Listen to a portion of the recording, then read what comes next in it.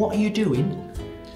Uh, well, Jeff, I checked the weather forecast earlier and it said it was going to rain, so I didn't want to take my chances by getting wet, so I, I thought I'd keep myself safe and protected. But Sam, you're inside the building. The building is providing shelter. I mean, it's got a roof and everything. You, you don't need all that stuff in here. I mean, have you ever got wet in here before? Oh, yeah. Trust the roof will provide. All right then. Well, let's get rid of all this stuff, shall we?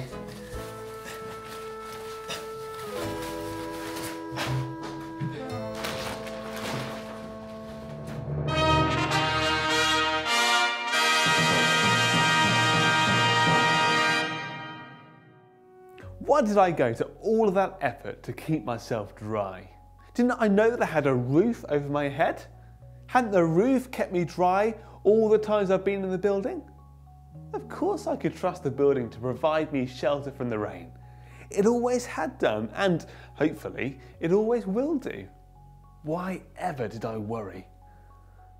In our true Bible story this morning, the disciples faced a huge crowd of hungry people, thousands of them, and all they had to feed them were five loaves and two fish. How could they provide the food that the crowd needed? But they really didn't need to worry, did they? They had Jesus. He distributed the loaves and the fish so that every single person had their food provided for them and their rumbling stomachs were satisfied. They've all had enough to eat.